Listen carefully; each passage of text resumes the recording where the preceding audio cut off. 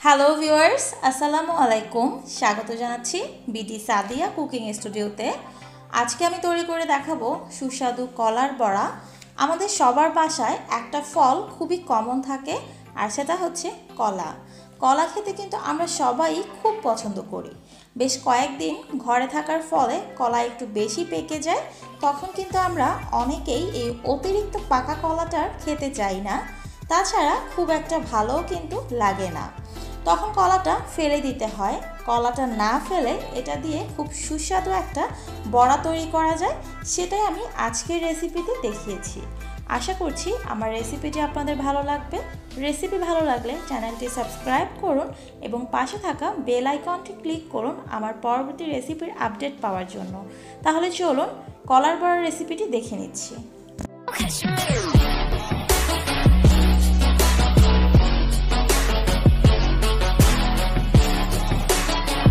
কলার বড়া তৈরির জন্য এখানে আমি তিনটা বড় সাইজের পাকা কলা নিয়েছি। আপনারা চাইলে অতিরিক্ত পাকা কলা না নিয়ে কিন্তু নর্মালি পাকা কলাও নিতে পারেন। একটা কাঁটা চামচের সাহায্যে কলাটাকে আমি ম্যাশ করে নিচ্ছি। কলাটাকে কিন্তু খুব ভালো করে ম্যাশ করতে হবে যেন কলার দানা বড় থেকে না যায়। কলাটাকে এখন হালকা করে ম্যাশ করে নিয়েছি। এবার আমি এখানে দিয়ে দিচ্ছি হাফ কাপ পরিমাণ চিনি। আপনারা কলার মিষ্টির উপর নির্ভর করে চিনিটা দেবেন। কলা যদি অতিরিক্ত মিষ্টি হয়, তাহলে চিনিটা একটু কমিয়ে দেবেন। আর কলা যদি খুব একটা মিষ্টি না হয়, তাহলে কিন্তু চিনিটা একটু বাড়িয়ে দিতে হবে। এবার কলা আর চিনিটাকে খুব ভালো করে আমি মিশিয়ে নিচ্ছি। চিনিটা যেন একদম গলে যায়, আর কলাটাও যেন একদম খুব ভালোভাবে চিনির সাথে মিশে যায়। কলা এবং চিনি খুব ভালোভাবে কিন্তু মিশে গেছে। দেখতে পাচ্ছেন যে চিনিটা কিন্তু গলে যথেষ্ট পানি বের হয়েছে। আর কলাটাও কিন্তু যথাসম্ভব খুব ভালোভাবে মিশিয়ে নিয়েছি। এবার আমি দিয়ে দিচ্ছি এক কাপ পরিমাণ চালের গুঁড়া। চালের গুঁড়াটাকে কলা আর চিনির সাথে মিশিয়ে নিচ্ছি।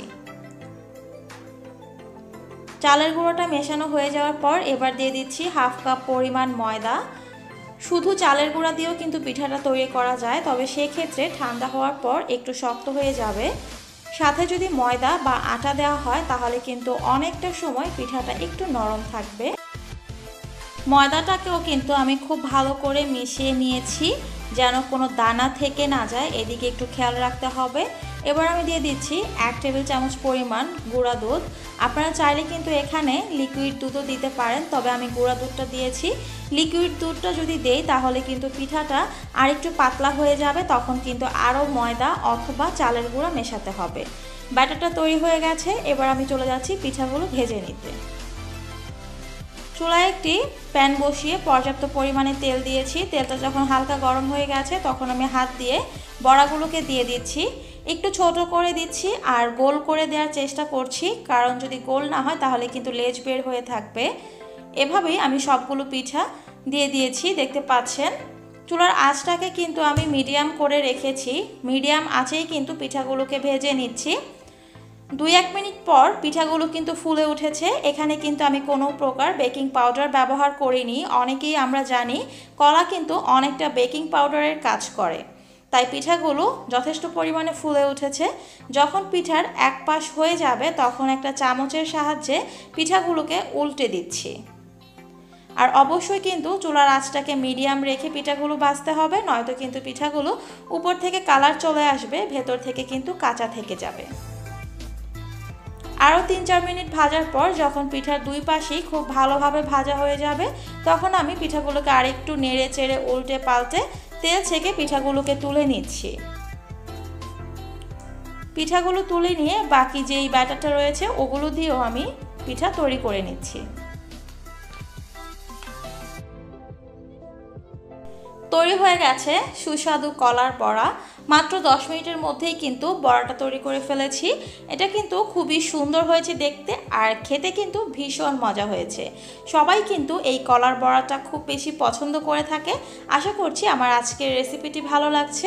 রেসিপি সংক্রান্ত কোনো কোশ্চেন থাকলে কমেন্ট বক্সে করবেন। আমি অবশ্যই উত্তর দেওয়ার চেষ্টা করব।